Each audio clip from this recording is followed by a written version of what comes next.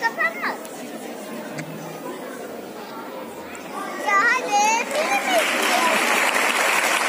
Okulumuz adına Kafkas Gösteri ekibine e, çiçek sunmak istiyoruz. Evet.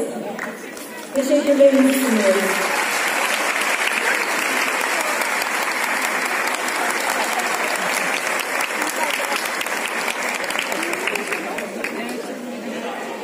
Şeyin arkasında kayboldu.